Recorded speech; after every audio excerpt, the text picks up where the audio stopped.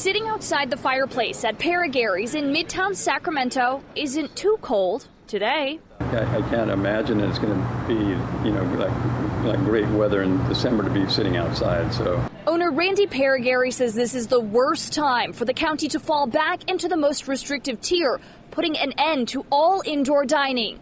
The holidays are right around the corner. a lot of our sales and reservation in December is made up of parties. Whether it be groups of people from the office or families getting together, just groups of friends. Say, let's go, go out on six people on a Friday night or something like that. All right, I'll have you come right up. We're abiding by the 25% occupancy indoor dining up until Friday. At Iron Horse Tavern's Folsom location, co owner Colin Wong says they're doing everything possible to stay safe and stay open, even if it's outside.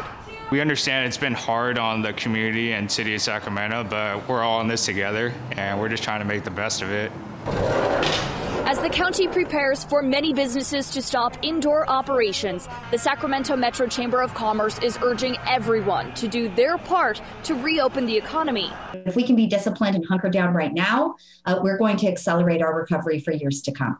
Walking through an empty dining room it's something Randy Paragary is hoping will happen soon. We try to stay positive and deal with the, the situation and um, try to make the best of it. Paragary's tells me they're seeing an uptick in reservations for the next few nights as people try to get in one more time before we move into the most restrictive tier.